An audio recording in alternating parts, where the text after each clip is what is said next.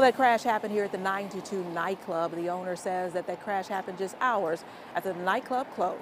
We just opened up November the 20th of last year. Some frightening moments early Sunday morning in Flordell Hills for a newly popular nightclub as a car skyrocketed into the building. First responders rescued a male driver who was heard calling for help. The driver was rushed to a hospital. Police say his condition is unknown.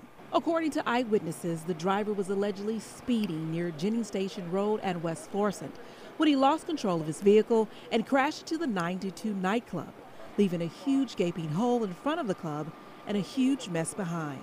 The owner of the club says they were open for business Saturday night and full of patrons.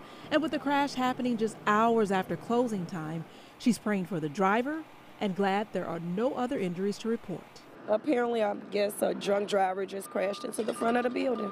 Authorities said the lack of skid marks indicates the driver most likely did not apply brakes. The cause of the crash remains under investigation. In Flordell Hills, Kelley Hoskins, News 11.